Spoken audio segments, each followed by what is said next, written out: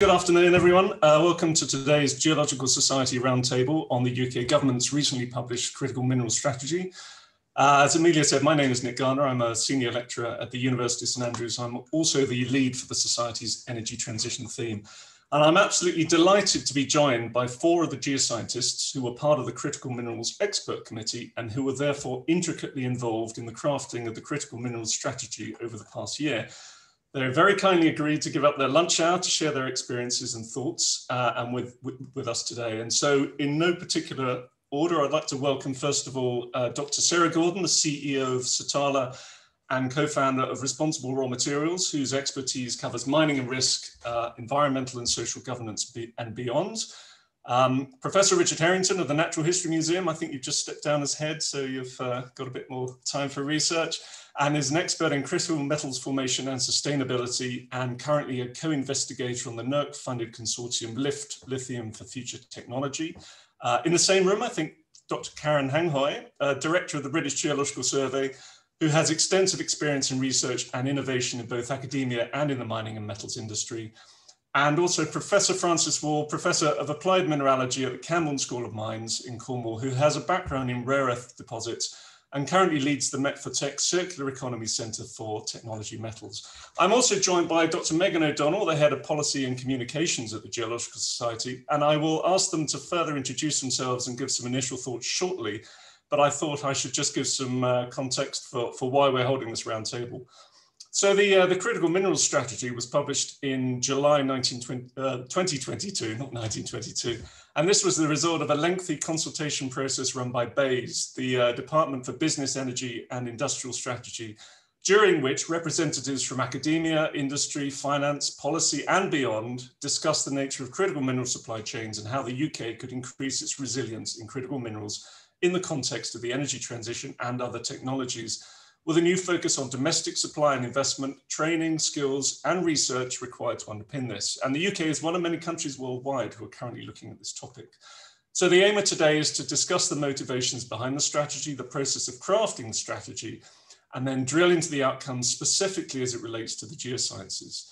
And throughout, if you have any questions, then please type them into the chat window as, as we go along, and we will endeavor to answer them uh, uh, and to get your answers for them. So firstly, Megan, um, would you like to give an overview of the Society's role in this, please? I'd love to. Thanks so much, Nick. Um, so as Nick said, I'm Megan O'Donnell. I'm the head of policy and communications here at the Geological Society. And as the National Forum for Debate and Development of Cutting Edge Earth Science, the Society has a special responsibility to communicate this science to the public, to the media, and to the government itself. Our policy team um, are responsible for this within the society. And so myself and Katie Jones, our policy and communications officer, do this on behalf of the geoscience community. We do this by communicating geological information to support evidence-based policymaking, hosting and attending policy relevant, relevant meetings, such as this one, um, supporting our members in communicating their expertise with policymakers and communicating the value and importance of geoscience knowledge um, in, in education and in policy making. And so uh, I'm delighted to join Nick today in supporting him with some of the technicalities of this webinar and, and even more so delighted that the members of the um, Critical Minerals Expert Committee could join us today to talk about this uh, strategy, the UK's first of this kind, um, and its relevance for both policy and for the geoscience community. So that's enough from me, and I'll hand back to Nick. Thanks, Megan. Thanks. So we thought it was probably worth saying up front exactly what a critical mineral is. So uh, Frances has kindly agreed to, to, to help educate us on this.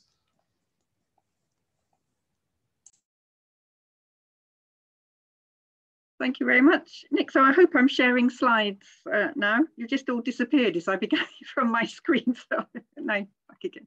Right. So yes, a couple of slides then here for people who might might be new to this topic to talk about what a critical mineral is. And the first thing to say is it there's uh, it's absolutely not about one particular type of mineral might be critical, say a particular type of cobalt mineral is critical and another sort of cobalt mineral isn't critical. This is all about raw materials. So don't really worry too much about the terms metals, minerals or materials. They're often used interchangeably when we're talking about critical um, materials overall. And so this is an agenda set by manufacturing industry. It's about the raw materials that they need for the things that they're making. And those raw materials might be on the first time round, you know, mined, new materials, or they might come on a second life from recycling. That, that doesn't really matter. It's about what's available. And so then a critical raw material has two things, and this is the classic kind of graph that I've, I've got here on this slide. First of all, it has to be reasonably economic important in its context, which could be, and usually is a country or a group of countries like the European Union, but it could be a company or a region. You can calculate criticality in any context you like. So it has to be reasonably economically important and that it, um, it's difficult to substitute, that there's some reason why you particularly need that material. So maybe lithium is a good example. Lithium ion batteries, you can't make batteries without lithium. You can choose maybe some of the other materials, but lithium has to be there, right? So it has to have that importance and that's our x-axis on this graph. You can have your graph either way around. And then the other thing is this measure of, is there a potential supply shortage? And so this often means that maybe there's just one or two countries in the world that either dominate mining, because these things are normally not very well recycled, or dominates the second stage of processing. And that means that if they were to stop producing, then there would be a crisis for the manufacturers who need these materials. And I think this has really come about this agenda because we're so clever at manufacturing things with all kinds of different elements in the periodic table these days. And now, if you've been looking at that graph, you see it's a delightful graph. It has no units, and you can set the threshold wherever you like. And so uh, basically you plot on there your the characteristics of the material. I'll show you that in a second. But just to say that this is set by the people who are doing these calculations. And, and there's a whole science in the calculation of criticality, um, which we don't have time to go into today, but uh, you could ask a question on that if you wanted to. And I wanted to go right back over 10 years to 2011. This is a nice graph from the Department of Energy in the United States to show they were thinking about that with respect to how are their future energy, especially clean energy, going to be generated? What materials would they need for manufacturing? And if you translate that from that previous graph, actually this is the other way around. So the importance of clean energy is on the y-axis, the supply risk so whether it's dominate, whether supply is dominated by a couple of countries is on the x-axis. And then if you look at the highest critical thing in these uh, elements, dysprosium, europium, terbium, which are the heavy rare earths, so very um, you know, unusual elements, if you like, needed in very small quantities. And I think that's an important point. Iron ore doesn't get on your critical list because there's so much of it used all the time from very many different sources. But things that are very specialist are more likely to be there. And then I wanted to point out lithium, which really wasn't on the critical list at the time. And just to say, therefore, that critical lists are time dependent, they're context dependent and time dependent. They will change over time. And here are the 18 that the UK now has on our critical list, calculated by the British Geological Survey. So you can just leave that up for a couple of seconds for you to have a look and see what's there. And I wanted to make the point that this agenda has been growing over the last 10 years. And each time the calculation goes around, often more elements seem to get put in the critical category. And we might discuss whether it's good or bad for elements to be in the critical category. I would say for geologists, it's been a wonderful agenda for waking the whole community of government and funders up to the, to the idea of raw materials, which they'd forgotten all about. For a manufacturer though, remember this is not good if the material you need is vulnerable to supply disruption. And this is my periodic table of criticality then, and the things in the pinky color are on the EU list only, the things in yellow are on the USA list of critical minerals only, and the green is both. And then I've added on top of that the 18, most of them for Britain coincide with the American or the European Union list. And if they're a little bit different, they're only on one of the list, like silicon here, I've put them in, uh, in the green bold color. I think the point I want to make with this agenda is as time has gone on, the number of critical minerals has gone up and have a look there. That covers almost all of the periodic table, doesn't it? And this is, you know, a feature of our manufacturing. And the only thing that never seems to get on there is copper, which maybe is arguably the most important metal for the energy transition, but again, a major metal with lots of different sources. So there we are, that's my introduction then, which I hope is useful to what a critical mineral is. Thanks, Frances. That's really useful. Good to see Tin made it. My tin hat on. Um, yep. Uh, that's uh, and I guess it's also worth outlining why why do we need a strategy? So we talked about what a critical mineral is, but why why was this effort put together to to make a strategy? And I was going to ask maybe Richard whether you could give us a bit of a background on that. Yeah, thanks, Nick. Th thanks, Frances, for the um, the background to that.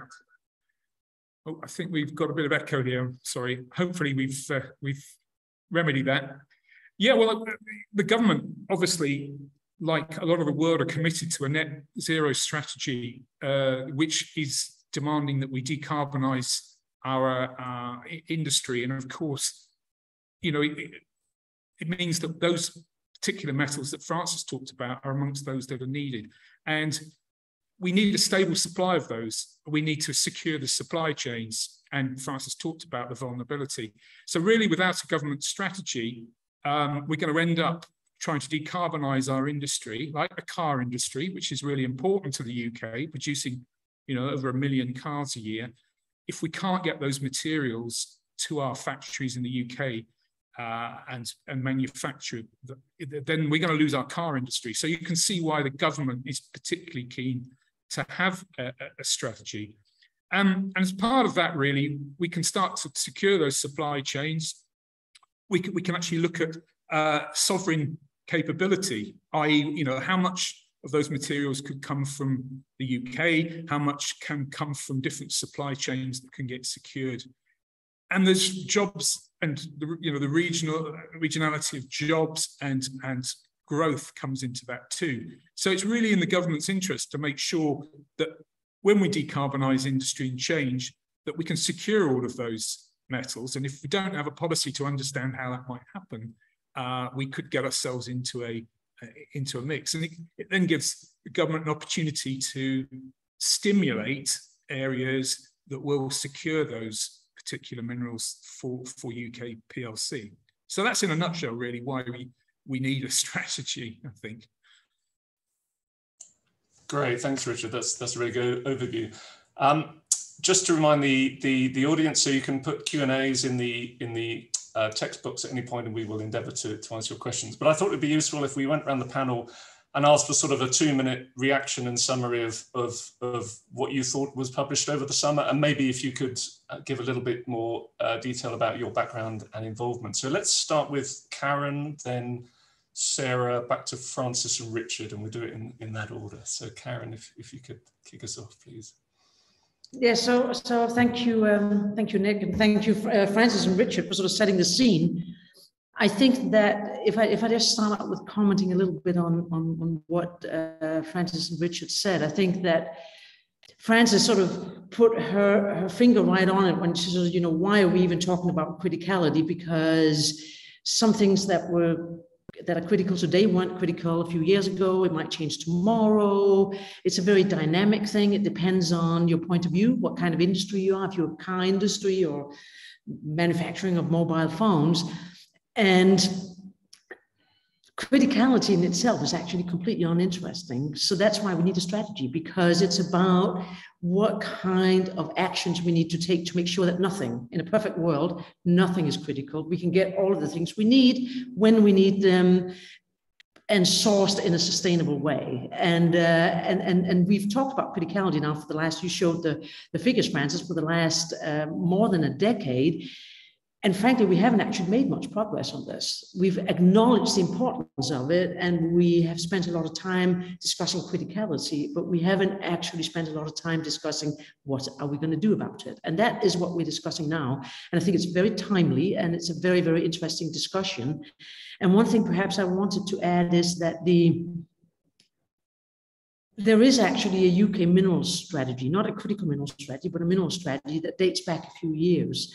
And, uh, and the second version of that strategy is actually due to come out. And that is a strategy that's written not by government, but by uh, industry associations, because the UK actually has a very large mineral industry already that, it, that is aware of all of the dynamic pressures that you get in the in the mineral market. And again, back to Frances, things that aren't thought about as critical might become critical in the future. So it's important to have a strategy that actually is broader than just the minerals that we perceive to be critical today. So I think that is a big challenge, and that is one of the things that we have spent some time discussing in the uh, in this uh, expert panel uh, that uh, that BEIS have used to develop the strategy. So we've had players from many different sectors, also players who are perhaps are, are interested in copper. As, as Frances says, it's, it's not critical, but it's extremely important. And so understanding that difference between what's important and what's critical, because it's not the same thing, is really uh, has been part of the discussion going into developing this strategy. And, uh, and I'm sure someone's going to say something about the strategy. I could say a little bit about it, but I think I'll probably be quiet for a little bit, let someone else uh, talk. But basically, the strategy is looking at the different things that we have to do to make sure that things stop being critical. And that is very, very important. I'll be quiet now. So I think then, um, following your order that you uh, you you placed upon us, Nick, um, just to build on um, what Kath, um, what Karen has just said. So actually, yes, whilst the strategy is called the critical mineral strategy, we'd be quite happy to lose that critical word um, and call it the mineral strategy. But then that would get very confusing with regards to other documents that are out there. The other thing to note is that this is the critical mineral strategy for the UK. So a lot of us, for example, um, the, the, all of us who are here on the call today, we work with organizations all over the world. And I think we spend most of our time thinking about things in a global sense. So one thing for me that I found quite interesting was, okay, now we're thinking about this as security of supply for the United Kingdom. So, what does that look like? Where do we get these materials from? Now, of course, we've got some in the rocks beneath our own feet from a domestic supply perspective, and the, the strategy pulls out various items that perhaps need to be addressed to alleviate challenges with regards to our own domestic supply. But then, from a UK perspective, we've got huge strengths and leadership with regards to mining companies, for example, being listed in London and the flow of money going into the mining sector. So that then allows us to say, okay, well, yeah, we can source some of these materials at home, but we also can go away and then with that, we have strengths in the form of our corporate governance codes and um, um, various different attributes with regards to sustainability and ESG requirements and different regulations. So, what that then means is that from a UK perspective, when we're looking to source these materials from abroad or from home, that they need to come with those ESG credentials. And so it's a case there of really looking at human rights, for example, in the sourcing of those different materials that are needed for batteries, etc. So what does that look like? And what does that look like through the eyes of, of being British? The final aspect here as well is, of course, we're not just talking about the primary raw materials, also we're talking about the circular economy and i'm sure that frances will come on to this in a second um, but just to steal some of Frances's thunder, it's a case here, sorry, Frances, of it's not all about just digging things out of the ground. It's actually about showing those minerals and those metals and those elements respect and saying, we've gone to all that effort of responsibly extracting you from the ground. Now let's look after you. And yes, I am personifying minerals and metals, but hey, I'm a geologist, so we all talk to rocks and saying, okay, well, how can we keep you in circulation? And that's something where there's a huge amount of work that needs to be done to up the levels of recycling, also change the way in which we are designing our technology so it can be more durable, so it can be pulled apart and more easily reused. So all of this then allows us to say, okay, from a British perspective, we are never going to source all the materials we need from the rocks beneath our own feet. We need to engage in international trade. We need to impose our own expectations on that from a sustainability perspective, for example. And then we need to say, well, hang on, we've got a huge amount of material in stock in the UK at the moment. Instead of sending all of that waste abroad to be recycled or thrown away somewhere else, actually let's see that as a resource in its own right. And how can we make more use of that? So finally, just to pass across to Frances, having stolen a whole load of her thunder, but I know that she has more. One of the things that I really enjoyed from being a part or still being a part of this group was the diversity of perspectives and people who came together from across the full value chain of raw materials in its circular form, but also from a diversity, diversity of backgrounds. So we're all geo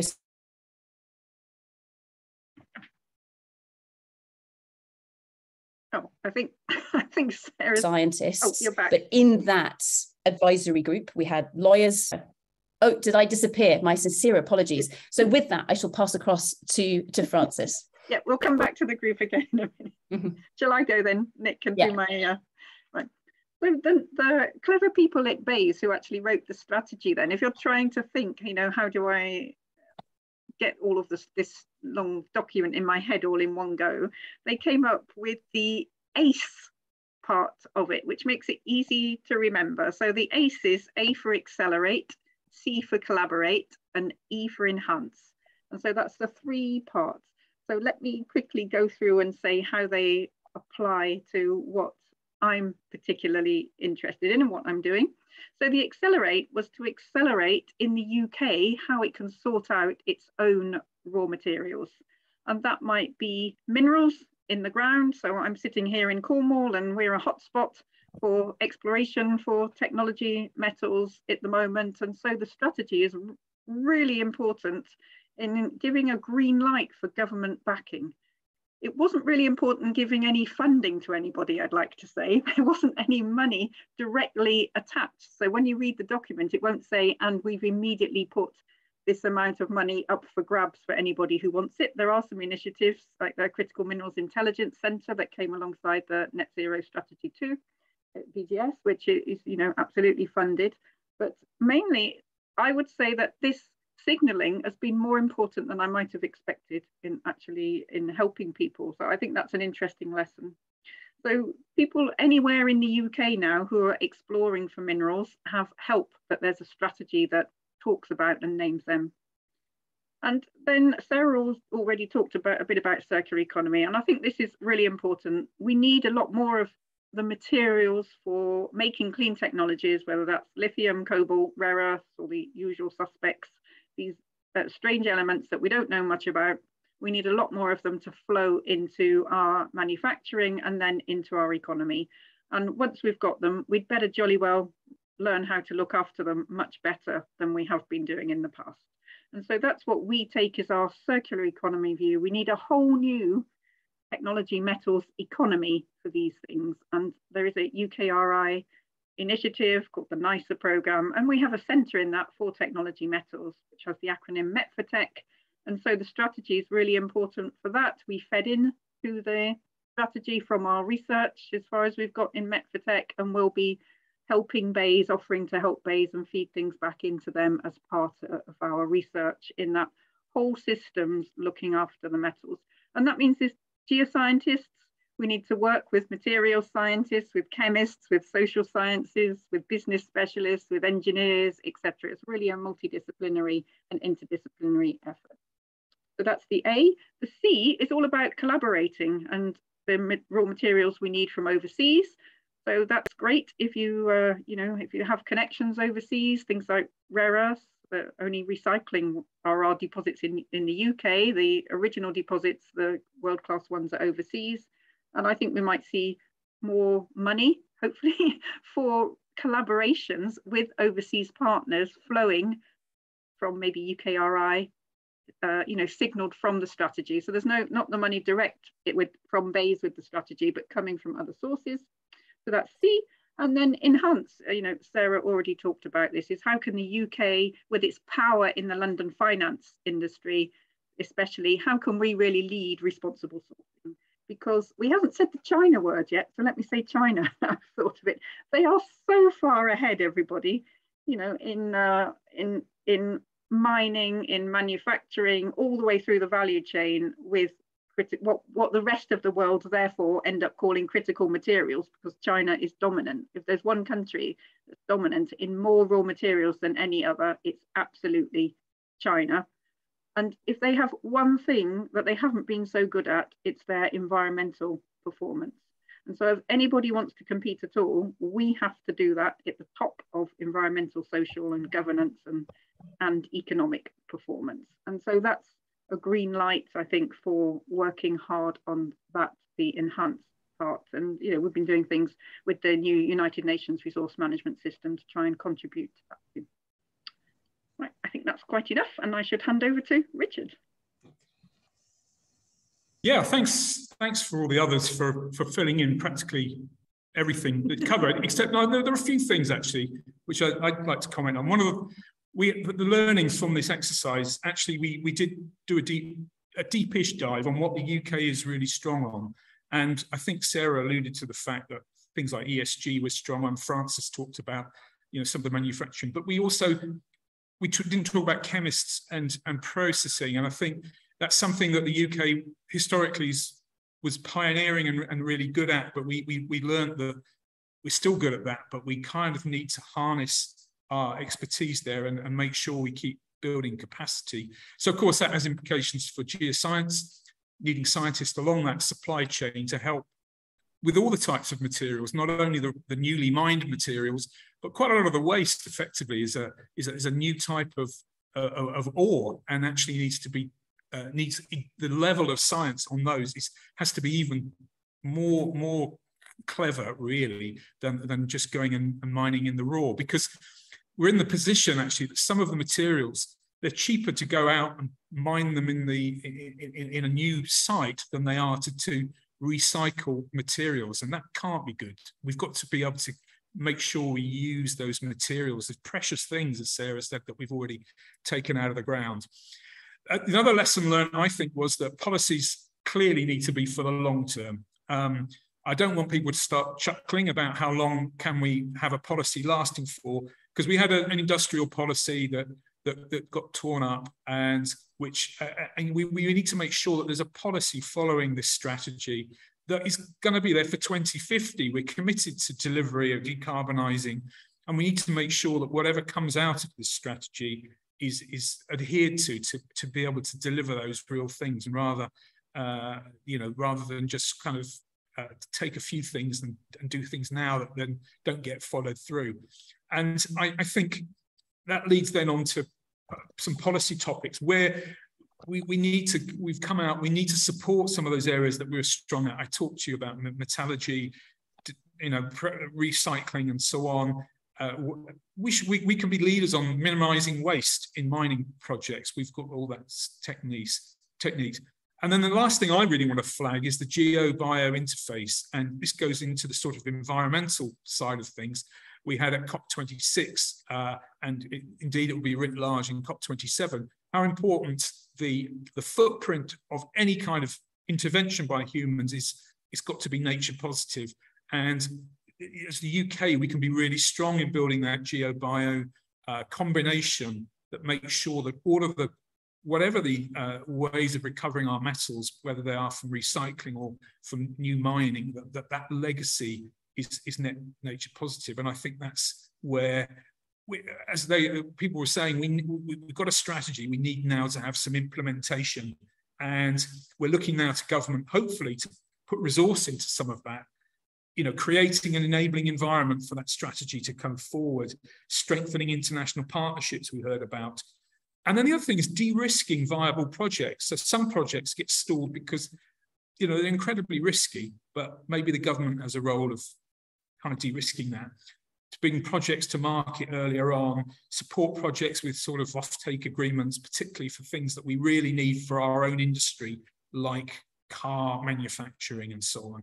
Um, and we need to be able to have an implementation that gives investors confidence to commit in the UK to providing those materials and be they locally sourced, so therefore an environment that would allow us to mine in Cornwall in a way that is, is, is engaging with the, the local communities as well as delivering something net positive for nature. and that will need government intervention, I, I, feel. So we're looking really turning a strategy into some kind of implementation. Um, and that's really my kind of two pennyworth.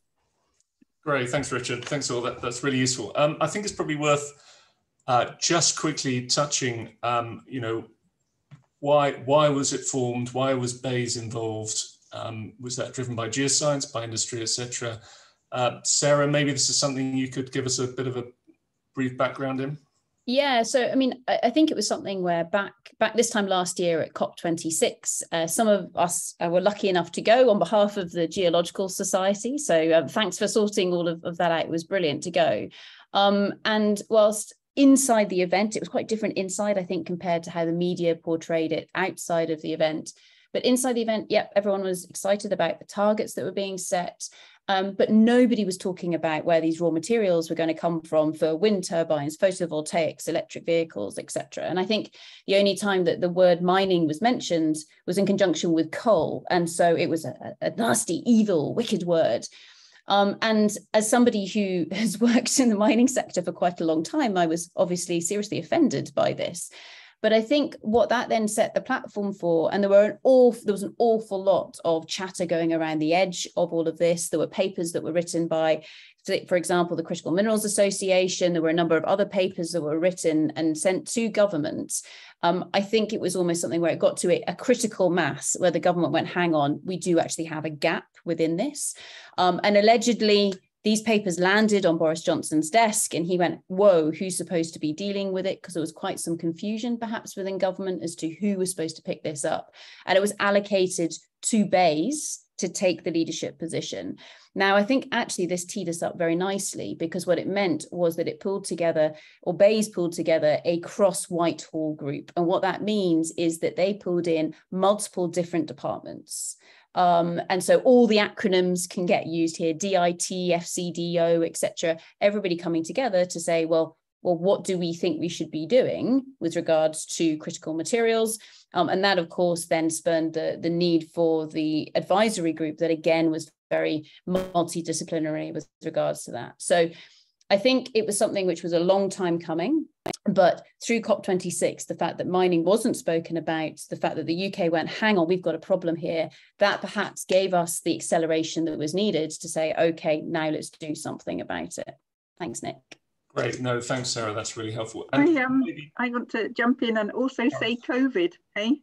Maybe not much good comes out of a pandemic, but understanding the importance of supply chains was really one of them. And first of all, it was obviously medical equipment. And then very quickly, that expanded to looking at other supply chains, including the, the critical minerals, the minerals that we need for clean tech manufacturing. And I think that came from the Department for International Trade, and then it went to the Cabinet Office, and there was a lot of yeah. very good research done um, from the Cabinet Office there, and then as then it then it links up with Sarah's story and went to BEIS, who convened. And so when, when we go to these meetings, I think it's noticeable that there are people who we, we've come to know now from lots of government departments, including DEFRA. There we are, there's another acronym to mention this afternoon. They're very much involved as well. So and they and they do, you know, they all come and listen and take part in it. So I, I think it's really picked up. It's a very different world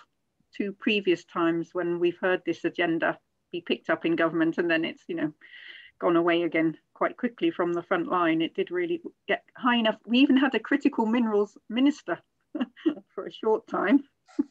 Unfortunately, that wasn't a very long time these days. And I don't think we've got one now, have we? I don't know if anybody knows. Oh, we have. Oh, Richard's going to tell us who it is because I didn't know we even had one again now. Richard, you're muted. Yes, it's. Um, Sorry, Karen. We have a little bit of a, um, of, of, a dual computer problem here. Sorry about that. Yes, so the, uh, the, the current minister for both actually for science uh, and for minerals in the um, in BEIS is uh, Nusrat Ghani who was appointed, I want to say about uh, a week ago, or maybe two weeks ago, uh, and and I know that uh, that that rumor has it that she has already uh, been briefed quite a bit on the minerals and is, and is very very interested in the uh, in the minerals item. Great, thanks, Karen. Um, so I think given the time and given the sort of meat is really talking about the implications for geosciences, we, we should sort of move on to that really. Um, so the main outcome. So maybe Karen, we, we can keep keep you unmuted and, and you could talk to us about, you know, what, what do you feel is is really important that's come out of it for geosciences and what are what are the next steps that you'd like to see? That's a very big question. I think, I mean, as, as Frances pointed out sort of early on, this is um, this is a great attention maker. This is something that that everyone almost has heard about now. There's been great media coverage about critical uh, minerals, not just in the UK, but pretty much across the world. So, so in, in that sense, uh, it is a window of opportunity as well to show how geoscience is part of the solution to this. And that goes both from the the rock, you know, understanding what's what's in the rock and how can we perhaps get it out. Uh, but also, as pointed out before, you know, looking at, at, at gadgets like this one, as a, this is a rock too. We can describe this as a resource. Uh, it has a grade, it has a tonnage, it has a, an occurrence. And so we are actually the best, we can't do it alone, but we are very, very importantly uh, placed in being able to, to actually get the information together that we need to make the solutions to all this. And I'll actually say one thing perhaps that I'd like to stress that we haven't talked about, one of the things that's in the in the strategy that we're trying to do is that, that the UK has, has now also formed a critical minerals intelligence center, which is uh, it's sort of based at BGS, but it's really sort of a hub for a collaborative effort in trying to really stay on top of this.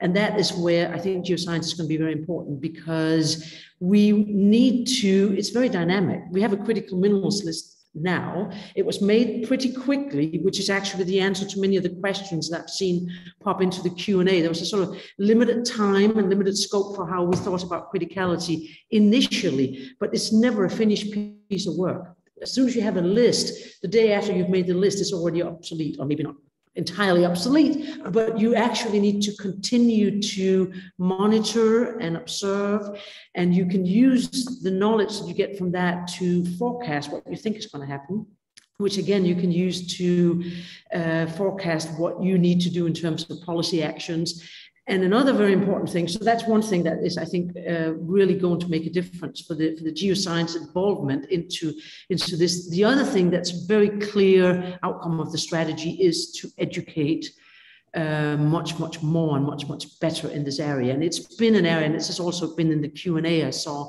it's been an area that's been deprioritized, not just in the UK, but again, across the world. No one wants to teach uh, barely economic geology, but certainly not metallurgy or mining engineering and all those kinds of things. We've seen it fall off the curriculum everywhere and it needs to come back on the curriculum. And the UK government has made a commitment to do that. And that is potentially a huge transformer for, for geosciences, I think, in the UK. Because if we want that sustainability, if we want that kind of holistic approach to really finding the right solutions, we need smart people who are there for the right reasons. And hopefully we can, uh, we can get that. Yeah, thanks, Karen. I mean, as someone who works in the, the university sector, you know, we we we do feel obviously training is, is really really important. Um, I'm going to pass to Megan now. I think there are some questions that are related to that on the chat. Yes, there are. I'm going to try and group a couple together. So apologies if you don't hear your question read out word for word. But um, I guess on the back of what you were saying about the difficult difficulty of defining critical, keeping up with what critical is, and reflecting the changes in the sort of sector and the needs uh, uh, and the strategy. Um, some people were asking questions around what what are the implications of international criticality lists differing? That's sort of one question. And how might that change the approach the UK needs to take? Um, as well as that, there was questions or reflections around what are the benefits and drawbacks of something being defined as critical. So quite a few questions around, I guess, the just the definition part, which I think it would be really nice to touch on in a little bit more detail. Um, and also about those important but not critical minerals and materials. So what about all those minerals and materials that aren't on this criticality list? Where's the strategy for them? I know that you, you, you know, a couple of people said actually it would be great if this was just the minerals strategy. Um, so how are those those other materials and minerals being factored into the government's thinking and what, what are the plans there? What, what does the sector need to be aware of? Um, and then I'll follow that up with another question about skills, maybe if you let me. Okay, uh, Richard, would you like to have a go at that? Yeah, oh, yeah, thanks. I mean, the, I think the, the, there's a really good question there about what are the things that are not on the critical list, because actually, if you look at the, the, the energy transition, is there's huge amounts of copper, as Frances talked about, but iron ore, you know, aluminium, uh, silicon for, and these are the, the big challenges there are that these are things that are very energy intensive for processing. So I think we've we've got to work. There, there, there, should be a strategy for those because they're definitely linked into. There's some of the biggest uh, problems for us from a for decarbonising. You know, particularly cement, which is used. You know, just every wind turbine has to be well, not except the floating ones has to be cemented. But you know, hydro dams using cement increased. Uh, you know, the the amount of those kind of materials has is is going to be increased by our use. So we've we've got to be having a strategy for that because we're going to have to look at other ways of defraying the carbon footprints of those probably.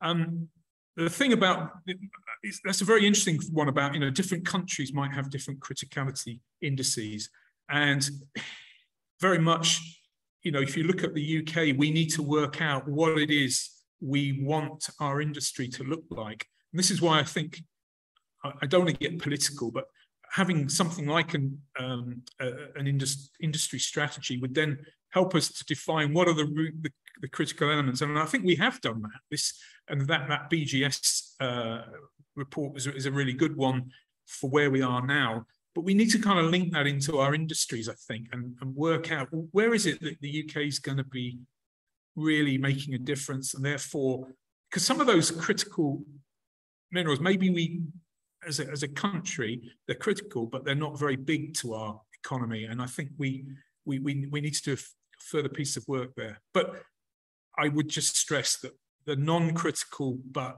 absolutely essential minerals need to be looked at as well. And we, that's why uh, Karen talked about that that UK uh, mineral strategy because actually that employs you know, about 4.3 million jobs rely on the extractives in the UK, and a lot of that sort of sand and gravel and other things, really important. And I think the, G, the total GVA of that on the 2018 report was something like 235 billion pounds. So that's pretty big for the UK economy. And, and so um, I like Karen's idea of getting rid of that critical word because these are essential things. And I think a strategy is needed for those as well. Great, thanks, uh, thanks, Richard. I think Karen, you you want to say a few follow-up comments.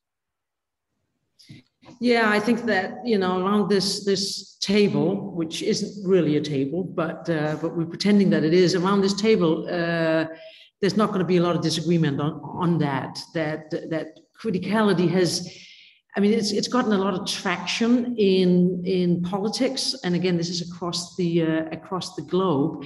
And so there's been a big appetite to include the word critical because it's been, a, it's been an enabler in a way to get it on the agenda.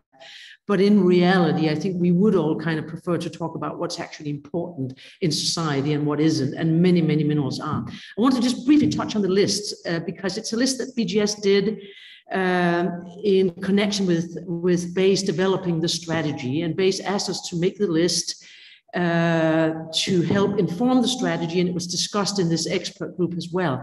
So there's very little time to do the list. That's the first thing I want to say because because of the the timing of the strategy. But there was also an acknowledgement it's not it's never going to be a final list. We'll make a list and we'll continue to uh, to monitor and keep it alive. But we had sort of certain criteria because there are lots of questions about why is copper not on there and why is uh, why is this element on there and why isn't this element on there that sort of thing because we all have in in our you know, we all have a gut feeling of what we think is important. And again, it, critical is not the same as important. So what we did, and I'm just very briefly going to say this, you can you can download this report on our website. It's it's it's it's freely available, and you can see exactly how we did it and what data we used. Because the important thing, from our point of view, was to use data so that it was a well-informed list that could be reproduced by someone who was going to use the same criteria. So the really important thing is what criteria do you choose and what threshold do you choose? And Frances touched on that. And basically we used uh, we used nine criteria in uh, in making the list for uh, for the UK critical minerals list, and we basically had uh, we had for each critical or for each material that we looked at as a candidate, we looked at, at, production concentration. This is, is it all in China or isn't it? Companion metal fraction and recycling rates. Recycling was part of it. We looked at uh, six other indicators that are production, evolution, price volatility, substitutability, global trade concentration, UK import reliance, and UK gross value added contribution. So basically, we went out and tried to find the best possible data for those nine categories and then we scored them and then we selected a threshold uh, together with this uh, with this expert group. There could be other ways of doing it. This is very close to how the usgs is doing it for the uk and or sorry for the us and a little bit different than what the european commission is doing for europe. But in essence as frances said in the beginning we all sort of do this in the same way but we're trying to to tailor it to our society and our and our industry. And then I'm going to try to be quiet and give over to or give back to you, Nick. Thanks. Yes. Sorry, I'm just cognizant of the time. Um, so I want to go, come back to you, Frances, if I may, and, and, also really get back to the issue of, issue of skills. There's a number of questions where people, you know, mentioned that Birkbeck College, for mm-hmm. example, has pushed out an anti-mining um, statement that um, you know us in universities know that we struggle to recruit geoscientists, but we know that they're quite important. And obviously, you're at Camborne School of Mines, so maybe you can say something about training and what came out of the strategy and where we need to go. Yes, well, of course, the strategy did actually give a name check to Camborne School of Mines, and that was because you know this skills agenda is so important if we're going to produce more minerals in the UK or collaborate with overseas or enhance the responsible sourcing of minerals and recycled materials from all over the world, you need the skills to do it. And of course, that's a very wide skill set. It's a real multidisciplinary skill set, including absolutely geoscientists. We're really important. And the reason why Camborne School of Mines got a particular name check is we're the last people actually training mining engineers. So how do you actually get the stuff out of the ground and then doing the mineral processing only we have those degrees and we're mainly teaching at postgrad now. We're just setting up a new degree apprenticeship to get our undergraduate back again. So our numbers have dwindled so low that uh, we've changed to a slightly different form of degree. And now it was fantastic that the government said they would work with the Camborne School of Mines, you know, to get that mining engineering education going again. And so I think what can we contribute from the universities, we really need to make sure that we're producing the right skill set that the industry wants and it wants you know all these very multidisciplinary people all ready to talk in the right way to all kinds of different disciplines as well as the straightforward you know geology core geology skills for us as geoscientists. So they've got to be and you know we obviously got to um, produce our mining engineers very holistic people who can do all kinds of things besides just ordinary mining as well i think for the for the future. And so I think this is important. And around that, of course, we can't teach people unless they're coming through our doors in the first place. And every discussion like this always gets to this point about how do we attract more people. Of course, the Geological Society has been working on that quite hard. I think it's about listening to people, about what people think, and then responding to that and making sure we're laying on the courses that they want to do, as well as to keep telling them that you must come and join us because we're such fantastic people doing important work. And, and somebody raised this problem about, you know, at Birkbeck where they not going to allow mining companies or something to come to their careers fairs. I mean, I almost laughed about that. If it's only in one university, that's fine, hey, because so long as they come to Exeter University, where I am, and St Andrews, and etc., that's fine, hey.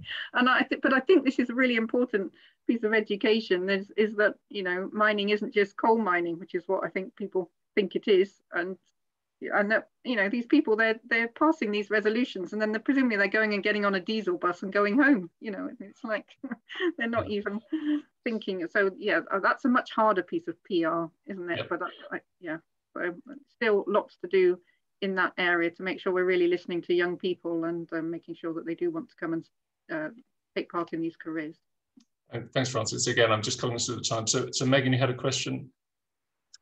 Yeah, I guess this is this is a question about uh, the context of the UK's critical mineral strategy and approach in the international space. So, you know, somebody's reflected in the chat box that do we know what out of all of these critical minerals we have resources or, or, reserves of in the UK and how does that affect our place within the international system um, because the demand for certain minerals and materials is increasing globally and decarbonisation for example driving that is a, an international effort. It's not just a UK effort. Um, and so I have a question for the group uh, about how what this strategy might mean for international position, uh, international relations and international posi position, excuse me, um, and also what it might mean for UK exploration versus imports, exports, and just the wider context of minerals and materials flow um, to achieve some of these big targets that we're aiming to achieve. Okay, thanks, Maggie. Sarah, I'm going to give you one minute to answer that. Okay, so um, with regards to these materials, we're in competition with the rest of the world. We've only got some of them in the rocks beneath our feet, and Karen and the BGS is the best source to go to to work out what we've actually got in the ground beneath our feet here this is where science and technology can actually form one of our main levers into access to the rest of the world because we're really good at working out well where to go and find this rock how to dig it out of the ground responsibly how then to recycle it etc and actually yesterday i gave a presentation to the science and technology committee in government which is something that doesn't get affected by the resignation of the prime minister which of course has happened within the last half an hour. Things always happen in an exciting way on these webinars. Um, i'll put that into the chat that. But basically, what this means is the, the critical mineral strategy is out there. It includes an awful lot of outreach into that international marketplace as well. Sustainability, of course, is absolutely core with that, as is our scientific expertise. It is bigger than just one leadership regime, if not two. So, my hope is don't worry with all of the fluctuations in leadership. This push is big enough to actually make it through into whoever is in charge next week. Thanks, Megan. Thanks, Nick. Thanks. Right. Given the time, I'm going to ask everyone for 30 seconds summary uh, of, of what people should take away from, from the strategy from today. I'm going to be strict with time. So Sarah, maybe you can just come back in on that. Uh, the time is now. We need all of the inspiration and ideas on the table right now. So pull in all your friends. We've got a big challenge to surmount. Thanks. Great, nice and succinct. Thank you, Richard. Oh, well, I mean, just very quickly, I think we we need to work out what UK is really good at and focus on those because we and then we can be exporting that to the minerals industry worldwide, frankly. And uh, you know, we've got a great history, but we've got the ability to to help drive this change through our our intellectual knowledge, really. Great, thanks. No, excellent. Um, Karen. Yes, we need lots and lots of people who are passionate about sustainability, passionate about our planet, passionate about finding solutions. We need them engaged and we need them knowledgeable about geoscience, not necessarily all geoscientists proper, but, but we need geoscience to be actually part of the decisions of almost everything that we do. And then I think importantly, we have a great strategy now. I think BASIS has done an excellent job and they've really, really upskilled, I think, internally, uh, uh, and, and, and they're very well suited to actually act on it now. We have to remember, we have to act, we have to implement, we have to actually make change and get behind it. And on a positive note, relating a little bit to what Sarah was hinting at, uh, in my experience, this is not a partisan issue. This is actually something that unites people from left to right and center, and that's a really good thing. So let's hope that we are continuing to go down that road, whatever happens. Great, thanks for the changing government. And Frances, last last words from you, please. Yes, so publishing the strategy is just the very first stage. The big thing is implementing that strategy. And so if you remember the accelerate, collaborate, enhance, I think there's something there for geoscientists in all three of those parts of the strategy. There's some pure geoscience to be done, some real academic stuff, understanding some wider deposits, and that's available don't be too hung up on the definition of critical minerals. Everybody's different. You'll find one some in some country somewhere that suits you. but there's a lot of collaborative research. So I think that's the other thing we need to do as geoscientists is not be afraid to go and talk to our friends in the recycling world and business and so on and, and join up and find ways to, uh, to enact the strategy and open the doors uh, or go through the doors that have been opened by the publication. Great, thanks, Frances. Um, I, I, guess we better leave it there. I'd like to thank our panelists again. Um, thank you for giving up your lunch hours and giving us your, your insights. It's much appreciated. Thank you, Megan, for joining us, and thanks, Amelia and the JOSL team for, for hosting it. And thank you all for, for joining. Pleasure. So until the thank next you. time, bye then. Thank you.